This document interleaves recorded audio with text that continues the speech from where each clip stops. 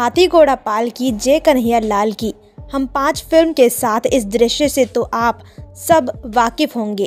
जब फ़िल्म में पाँचों एक्टर एक बूढ़े व्यक्ति को उठाकर मस्ती करते हैं, ये कोई और नहीं बल्कि बॉलीवुड के वर्सेटाइल एक्टर कन्हैया लाल चतुर्वेदी जी थे। कन्हैया लाल अपने गवई स्टाइल को लेकर काफ़ी मशहूर हुए थे। एक तरह से वह कॉमिक आर्टिस्ट भी थे। करियर के शुरुआती दौर में इन्हें कई असफलताओं का सामना करना पड़ा। इसके बावजूद भी यह आज एक जाना माना नाम बन चुके हैं। तो चलिए जानते हैं इस अभिनेता के बारे में।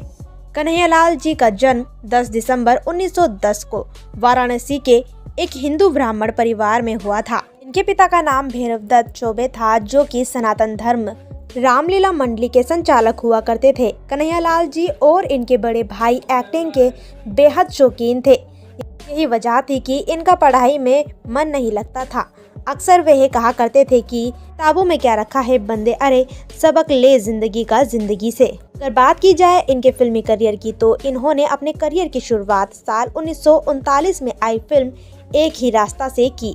दरअसल हुआ यूँ कि जो किरदार इन्होंने इस फ़िल्म में निभाया था, वह किरदार किसी और का था। जब वह अभिनेता नहीं पहुँचा तो ये किरदार इनकी झोली में डाल दिया गया। इनके अभिनय को देखते हुए इन्हें 1940 में महबूब खान द्वारा निर्देशित फ़िल्म औरत से कन्हैया लाल जी को काम करने का मौका मिला, जिससे इन्हें एक नई पहचान मिली।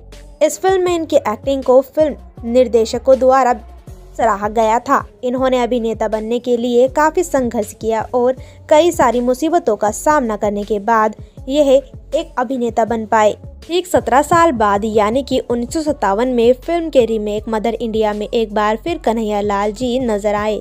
इस फ़िल्म से इन्हें खासा पहचान मिली।